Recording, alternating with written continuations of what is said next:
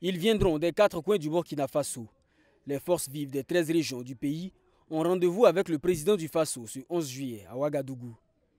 Une grande rencontre qui intervient plus d'un mois après l'adoption de la charte modifiée lors des assises nationales.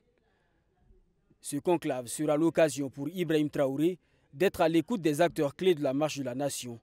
En retour, le chef de l'État va décliner sa vision des cinq prochaines années, informe la présidence du Faso.